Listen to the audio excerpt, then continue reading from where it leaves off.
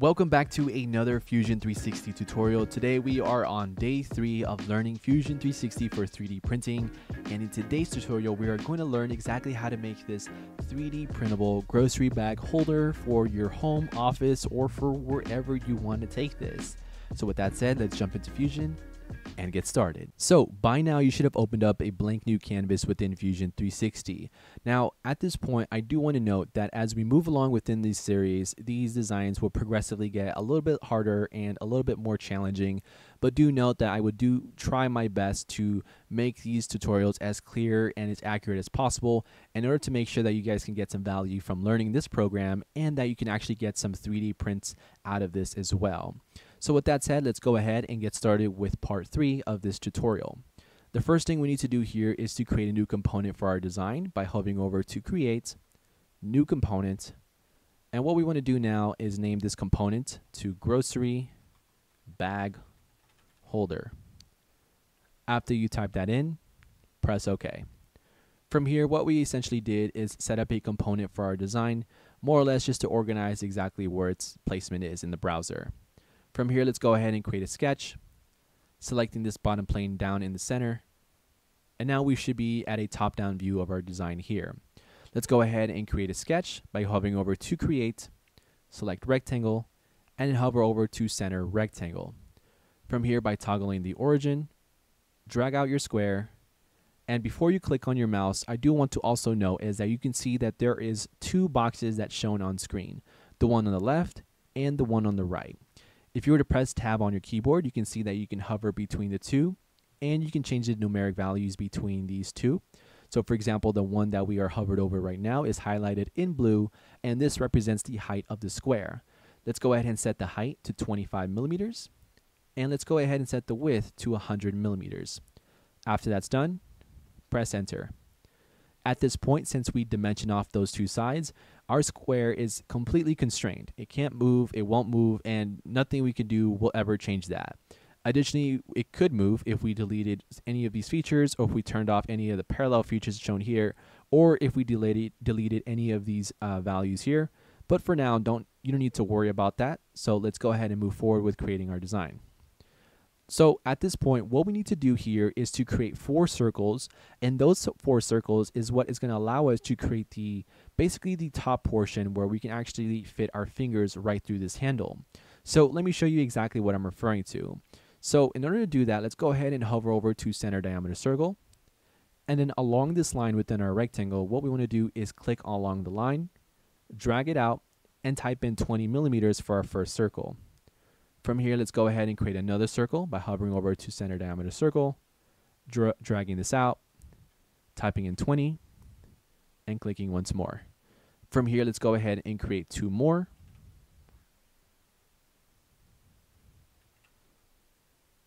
And now we've created four circles. Now at this point, these circles are not dimensioned off yet. So what we need to do here is set these circles um, with the right dimensions in order to make this design a bit easier to make. So from the very first circle, if we press D on our keyboard, select the center of the circle, all the way to the very edge of our rectangle, we can go ahead and set this dimension to 15 millimeters. Let's go ahead and set dimensions from this center circle here to this first circle and type in 20, pressing enter. From here to here, this will also be 20. And from the last, last circle to this center circle there, 20. Now we essentially should have what looks like a basically like a car with four wheels or an odd looking car with four wheels. Now that we have this and everything checks out, let's go ahead and finish sketch. And now we are set to turn this profile into a 3D body. By pressing E on your keyboard, select this profile, and then type 15 millimeters within our design option menu. After that's done, press OK. Now, if we were to reorient our design from this top down view here, you can see that this is the slot where we fit our fingers to hold our groceries or our bags. But if you also notice is that these edges, they are quite sharp. Additionally, if you try to 3D print this, there may be some issues. So we also want, what we also want to do is to round out these corners here using a feature within Fusion 360 called Fillet. So by pressing F on your, on your keyboard, what we want to do now is to fillet these three inner edges here and as well as this last edge here. So by selecting these edges here, now what we can do here is by moving this arrow inward, we can actively or we can see that now our design is kind of rounding itself out, making it a little bit easier for it to hold when we do actually hold this. I would set the dimension for the fillet to 1.5 millimeters. And let's go ahead and create another fillet for this design.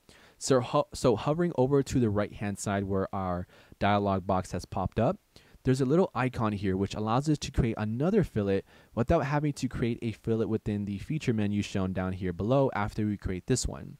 So for example, since we have four created at a 1.5 radius, let's go ahead and create a new selection set. And now we can create another selection set of fillets. And these can actually be a different value compared to the ones that we have here. So let's go ahead and select these outer edges here. And let's set this fillet radius to 7.5 millimeters. After that's done, you should have these four inner edges here set to 1.5 and these three outer edges set to 7.5 millimeters. After that's done, press OK. Now we have a basic overview of our design here. We basically have the top piece for our handle. So now the very next thing we need to do here is to create the bottom portion of our design. So in order to do that, let's go ahead and create a new sketch. Select the top face here. And now what we want to do here is create a total of four lines. Now I'll do my very best to provide the values and the degrees for these designs or for these lines. So do your best to follow along for this as well. So by pressing L on your keyboard, let's go ahead and select the edge of this bottom right hand side, bringing this out. And as you can see here, we have a total of two values. We have the left hand side, which is showing the value in degrees, and we have the right hand side showing the value in millimeters.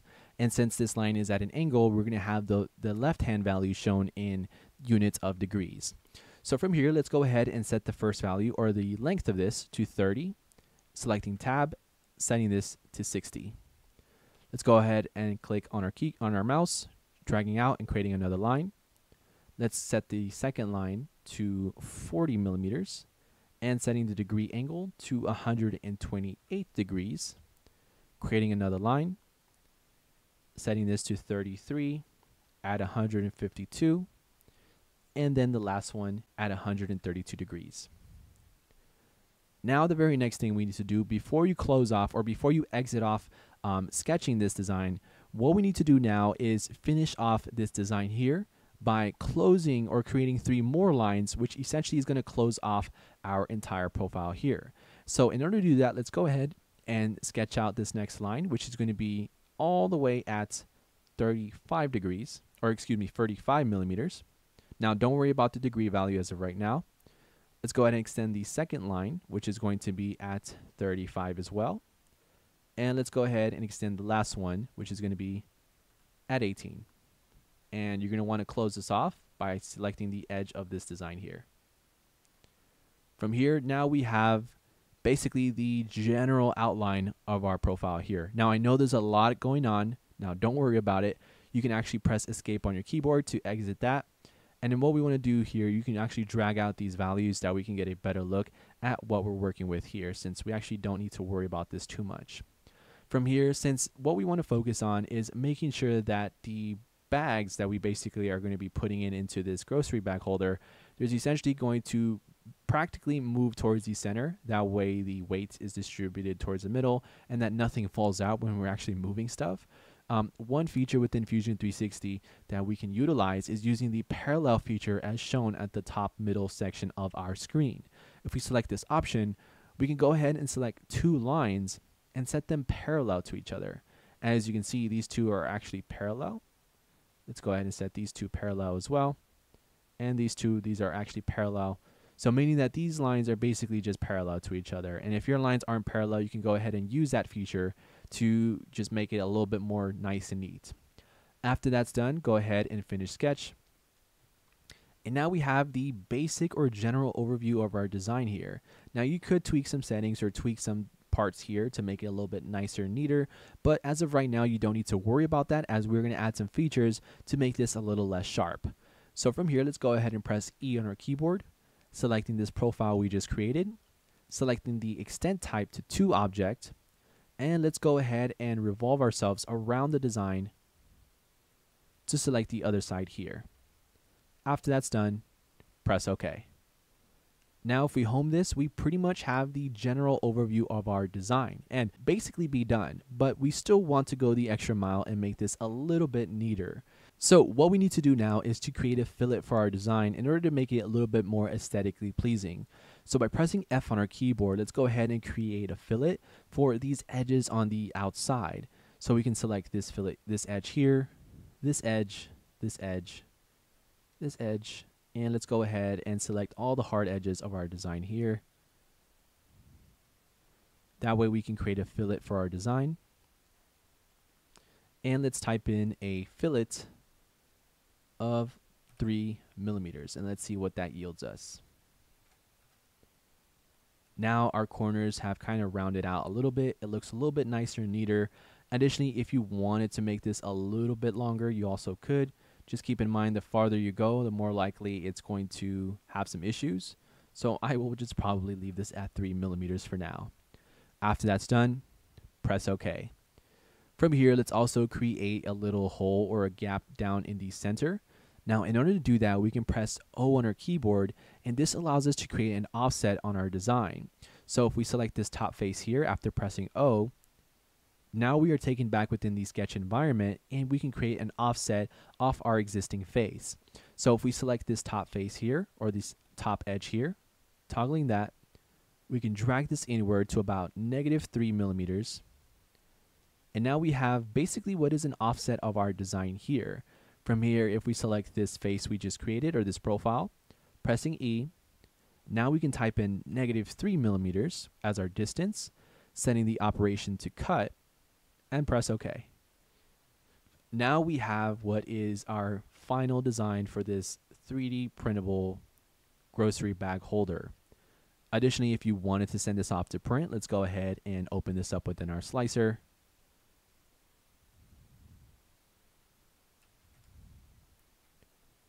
And from here, you should see that we have our grocery bag holder as shown here. Additionally, one additional feature that I forgot to add here is that we could also add fillets for this design here at the very top. So if you wanted to, of course you don't have to since we're pretty much done, you can press F on your keyboard, selecting this outer edge here, which is this outer line. And you can go ahead and just kind of create a fillet here so you can round this out if you want to.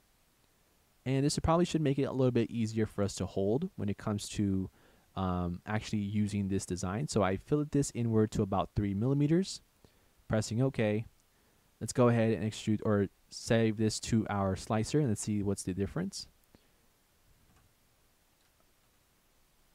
And now we have our design completely made within Fusion 360 and ready to be 3D printed. Additionally, since we did create a fillet for this top piece here, you'll see kind of like the layers appearing um, in a in a slope and if you wanted to get rid of this, you can also reduce the layer height, just say to 0.12 millimeters. And now these layers are practically disappearing. We can go even one step further to 0.08 millimeters with a 0.4 nozzle. And now these layers are practically gone, giving it a nice smooth finish on our design. But of course, this will take about one hour to print compared to our 30 minute print that we had earlier. So let's take a look. And there you go. And that's how you create this 3D printable grocery bag holder. So that pretty much wraps up today's tutorial. Let me know you guys' thoughts and opinions down below in the comment section as well. As well as if you guys haven't already, make sure to join the 3D printing community down below in the description. We have over 200 members and we release all the tutorials and guides and as well as STLs to this project down below within that community. So if you guys want to get access to those resources and as well as for the STL files that we create for these videos, there'll be a link down below where you guys can get access to it as well. So with that said, if you guys enjoyed today's video, make sure to thumbs it up, to subscribe to the channel. And with that said, this is Brandon signing out. See you guys in the next one. Peace.